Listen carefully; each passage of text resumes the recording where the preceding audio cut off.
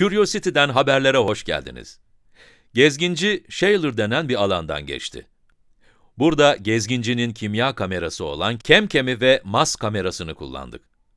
Bunları, kayaları ve kayaların oluşumunu ve katmanlarını incelemek için kullandık. Shaler'dan sonra 50 metre daha ilerledik ve yarım metre kadar indik. Böylelikle sarı bıçak koyu dediğimiz Yellow Knife Bay'e geldik. Oraya gidene kadar birçok bilimsel gözlemler yaptık. Takım şu an tatilden sonra yapılacak matkap çalışmaları için uygun bir kaya yapısı aramakta. Takım çok heyecanlı çünkü şu an keşif amaçlı planlamalar yapmaktayız. Bu planlamada bilim takımıyla gezginci beraber çalışmakta. Herhangi bir görevin başlangıcında gezgincinin yaptıkları önceden programlanmış oluyor. Ama son zamanlarda bilim takımı daha özgür hareket edebiliyor.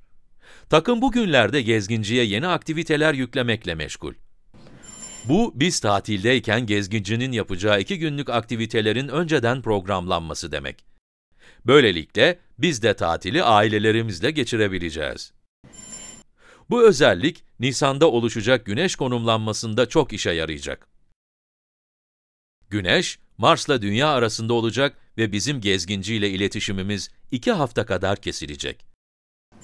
Curiosity, takımın Büyük Annenin Evi olarak isimlendirdiği yere gitmek için 30 metre daha ilerleyecek. Tatili burada geçirecek ve Sarı Bıçak Koyu'nun panoramik görüntülerini alacak. Bu sürede küçük bir ekip gezgincinin sağlığını kontrol ediyor olacak. Gezginciden haberler için hatta kalın.